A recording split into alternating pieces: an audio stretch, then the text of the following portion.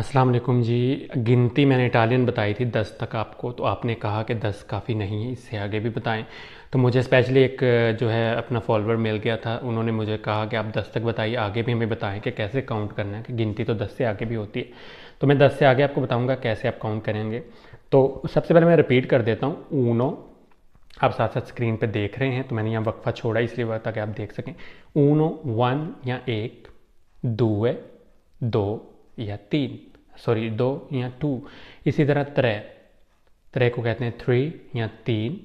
Quattro quattro कहते हैं चार को या फोर को. चिंक्वे चिंक्वे पाँच या फाइव sei.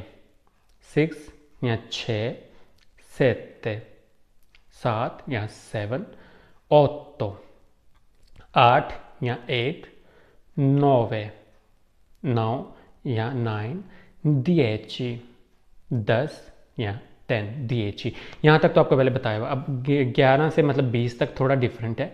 वो मैं आपको बता देता हूँ, आप ज़बानी याद रखें उसके बाद बाकी सारा आपको लिए बहुत ईजी है। तो मैं बताता हूँ, ग्यारह को क्या कहते हैं? ऊन दिची ग्यारह।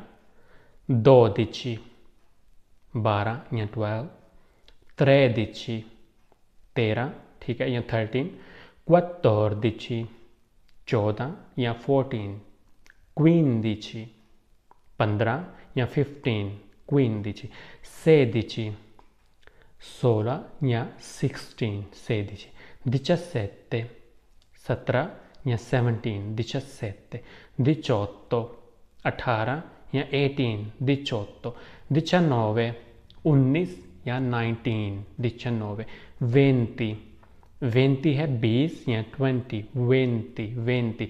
ठीक है, अब बीस हो गया, अब इसके आगे क्या होगा? इक्कीस है तो वेंतूनो बाईस है तो वेंती दो है, तेईस है तो वेंती त्रे इसी तरह आपने वेंती नौवे पे जाना है, उनतीस पे तो वो हो जाएगा त्रेनता यानी कि तीस। तो सबके साथ यही त्रेनता है तीस, इसी तरह तीस के साथ इकतीस है त्रेंतूनो त्रेंता है, त्रेंता त्रे त्रेंता क्वात्रो, त्रेंता पे नौ पे जाके उनतालीस पे वो हो जाएगा क्वारंता, यानी कि चालीस। 41, 42, 43, 49 यानी कि जब उनचास पे जाएगा तो वो हो जाएगा चिंक्वांता चिंक्वांतूनो चिंक्वांतदुए चिंक्वांतत्रे तो इसी तरह वो तिरपन चौवन पचपन उनसठ पे आएगा तो साठ को क्या कहें कहेंगे सेसांता यानी कि सिक्सटी सेसांता सेसंतूनो सेसंता दुए सेसंता त्रे इसी तरह चलते जाएँगे उनहत्तर पे जाएँगे सिक्सटी नाइन पे तो उसको हम कहेंगे सेसंता नौवे आगे आ जाएगा सत्तर सेतांता 70 इसी तरह से तंतुनो से तंत दुए से तंत त्रे से तंता नौवे यानी कि उनासी पे जाएगा तो हो जाएगा उत्तानता उत्तांता एटी या अस्सी को कहते हैं। इसी तरह उतंतूनो उतंता दुए उतंता त्रे उतंता नौवे यानी कि एटी नाइन पे जाके क्या बन जाएगा? नाइन्टी नब्बे नाइन्टी उसको कहेंगे नौवानता नौवानता नौवांता इसी तरह नौवंतूनो नौवंता दुए नौवंता त्रे नौवंता नौवे यानी कि निन्यानवे पे जाके वो बन जाएगा आगे चैन तो यानी कि सौ चैन तो ठीक है?